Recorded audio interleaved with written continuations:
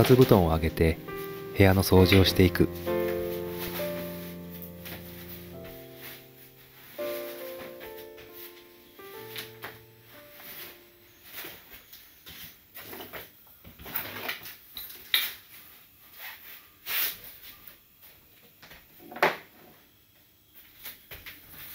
ここに越してきた当初は絨毯を敷こうと思っていたけど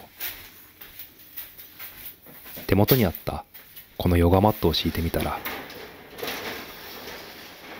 掃除もしやすくて一人ならこれで十分だった。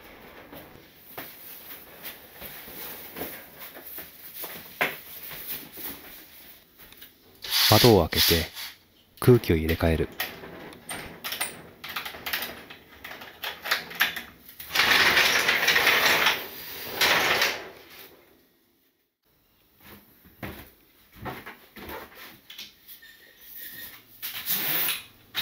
畳の掃き掃除には少しコツがいるけど少しずつ慣れてきた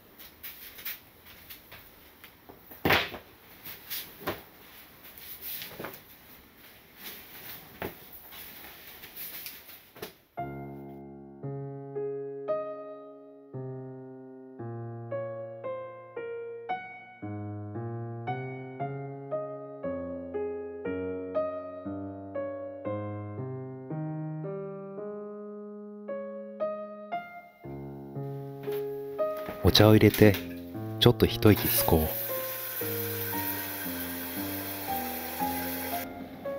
カフェインレス生活にしてから毒ダミ茶をよく飲むようになった。大きめのマグに入れて半日くらいかけて飲んでいく。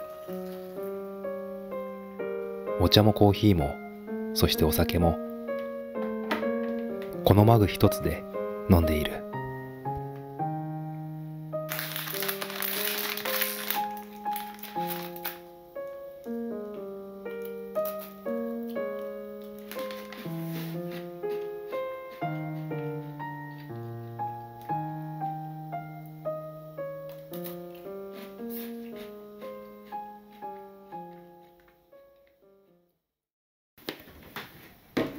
使い終わった茶殻や野菜くずはこのタッパーに入れておいて4日ほど冷蔵庫で貯めたら消えろの土に埋める。もはや最近は生ゴミというよりも土の元だと思っている。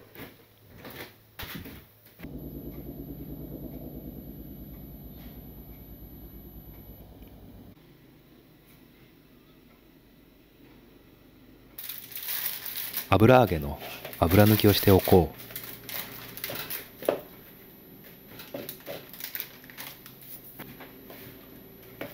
熱湯をかけたら。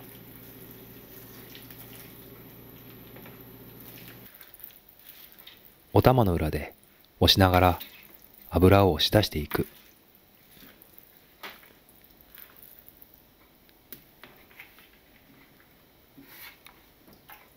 お湯を流してまたお玉で水分を絞り出す。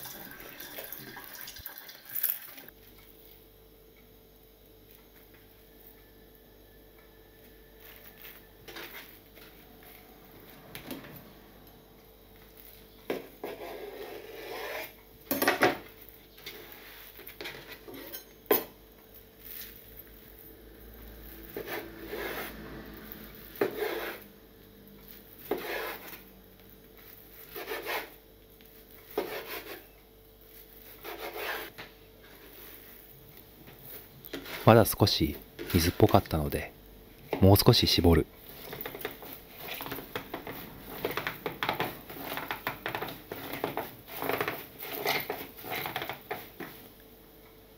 あとは袋に入れて冷凍しておく。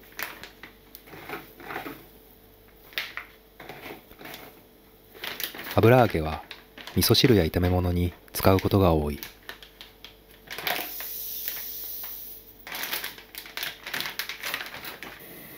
鶏ハムを作っていこう。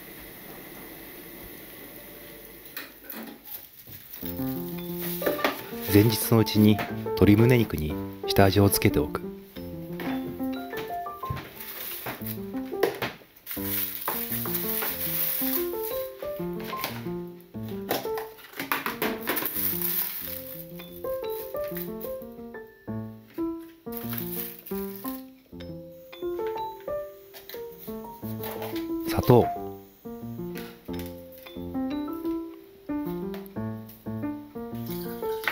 塩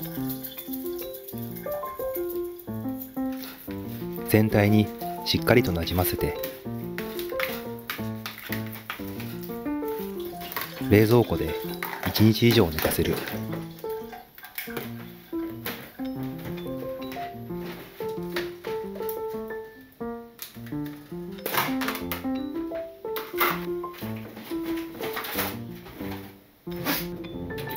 表面の調味料を流水で洗い流す。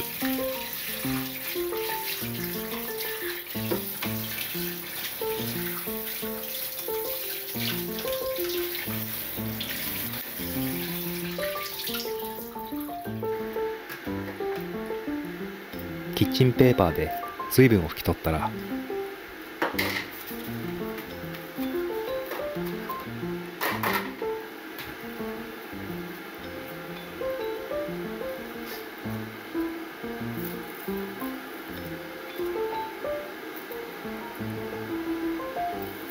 ップで細長く巻いていく。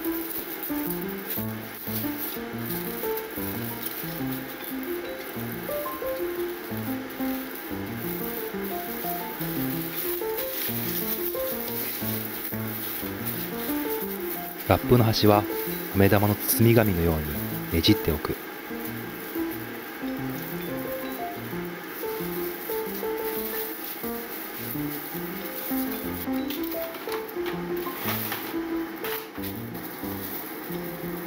ラップを二重で巻いておく。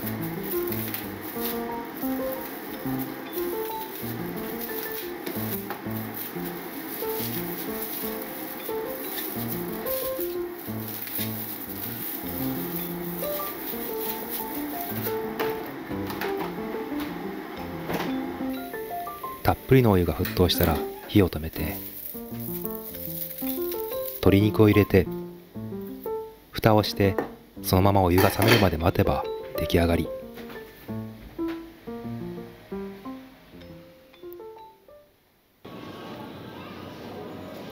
待っている間にスーパーで買い物をしておこう。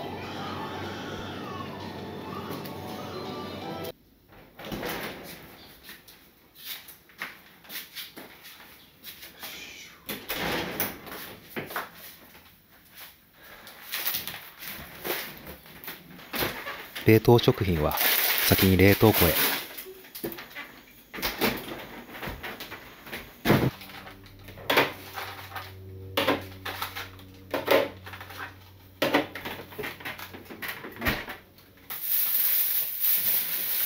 教えてもらったキャベツの保管方法を試してみる。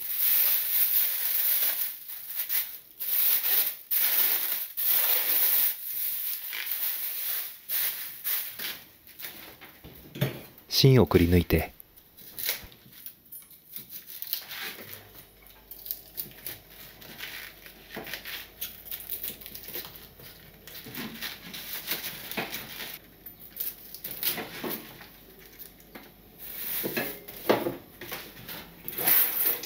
濡らしたキッチンペーパーを詰めて。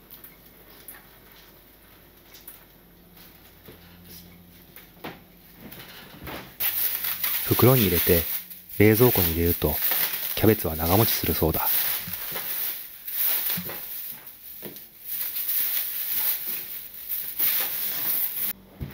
キャベツの芯は土に分解されるのに少し時間がかかるので細かく刻んでおく。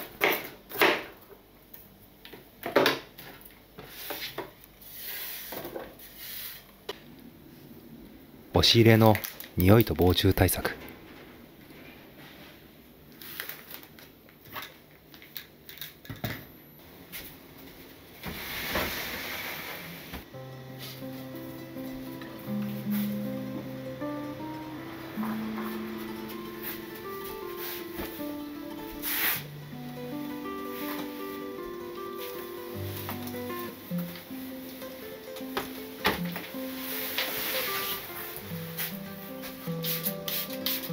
消臭スプレーを吹いて。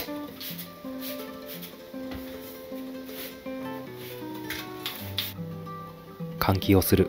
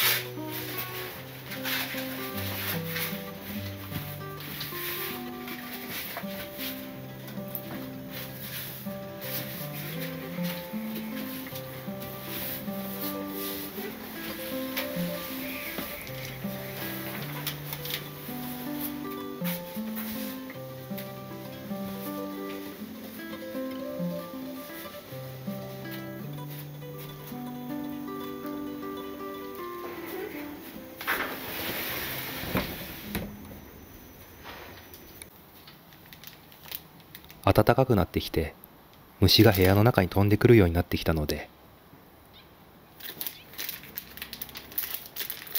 この虫除けをつけてみよう。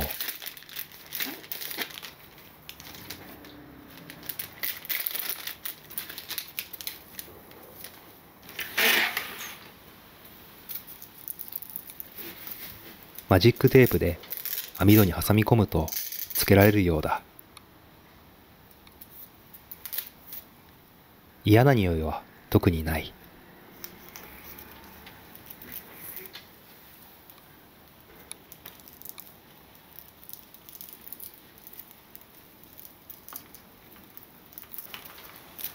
よし着いた。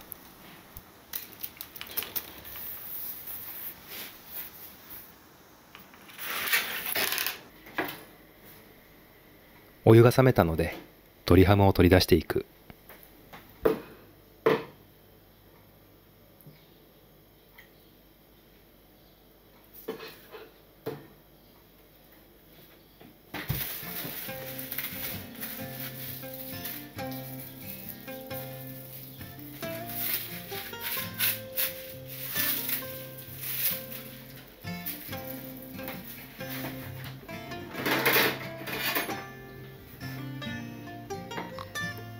火の入り具合はどうだろ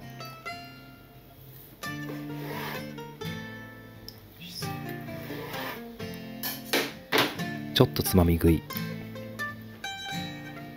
うん美味しい。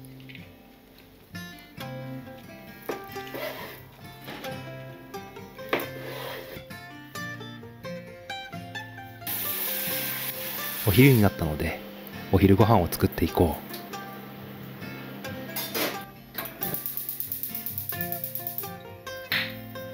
レモン汁。オイスターソース。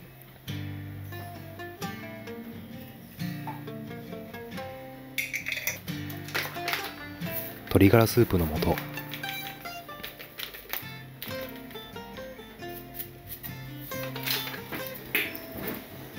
お酒。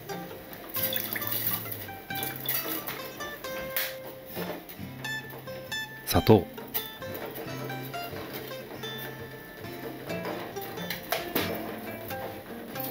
塩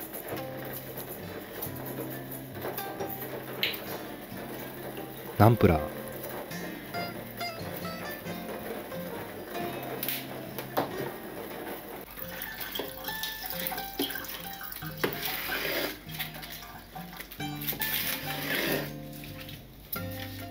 スープの具はキャベツと。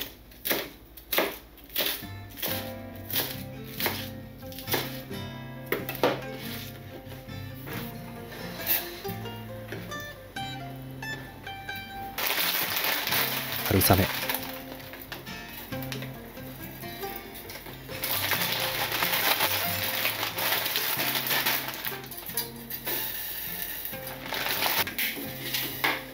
乾燥小エビ。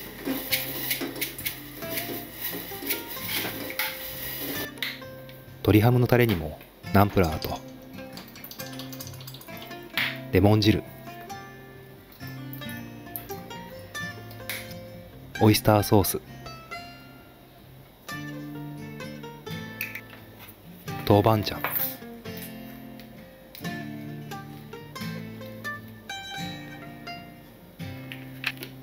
隠し味の蜂蜜。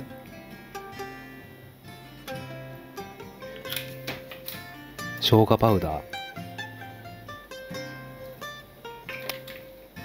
にんにくチップを入れて。よく混ぜる。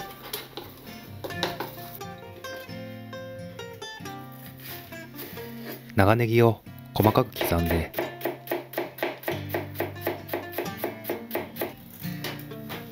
タレを絡める。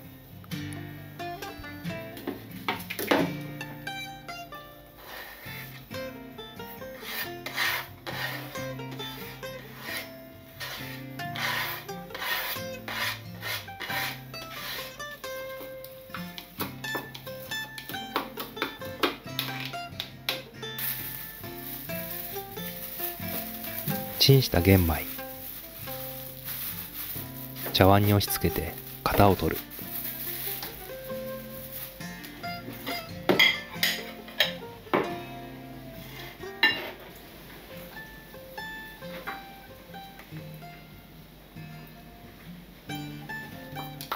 鶏ハムにさっきのネギだれをのせる。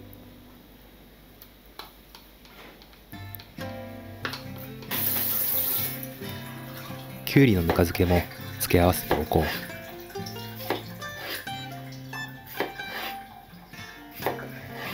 う。端っこはもちろん食べる。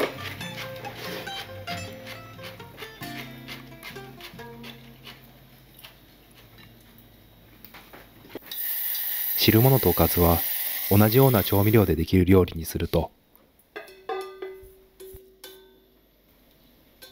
相性が良くなる。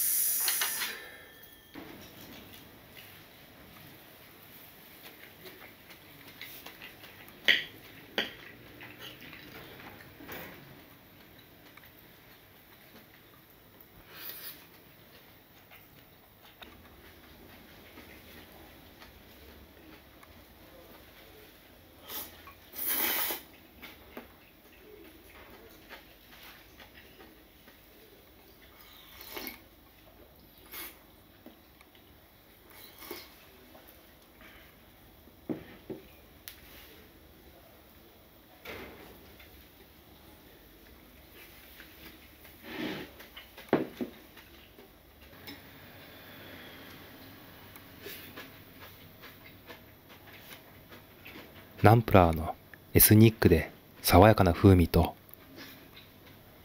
パラッとした玄米の食感がとても合う。